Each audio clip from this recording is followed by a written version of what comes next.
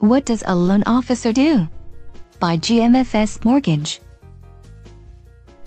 Loan officers, often referred to as mortgage loan originators, are people who help borrowers acquire loans such as mortgages from banks and lending institutions. They often work directly for the bank or lending institution and can assist in determining the creditworthiness of the borrower.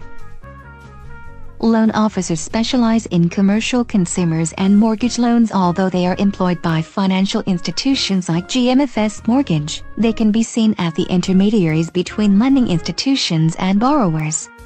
They solicit loans, represent creditors to borrowers and represent borrowers to creditors. A loan officer has to garner someone's trust when you apply for a loan. You release almost all of your personal and financial history for scrutiny. A lot of times loan officers offer advice on how to save and shop and invest. They do this to help you get into a good financial position when you apply for a loan.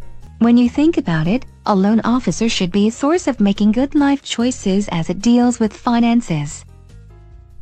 Loan officers should be the kind of person you would want to follow on Facebook, LinkedIn, or Twitter, so select a loan officer you feel good about. Loan officers that originate residential loans must obtain an NMLS credential. This includes a background check pre-license education and a credit check in a national exam. In some cases, you have to get a state exam as well. So now you know more about the importance of selecting your loan officer. Go to GMFS Mortgage to get started today.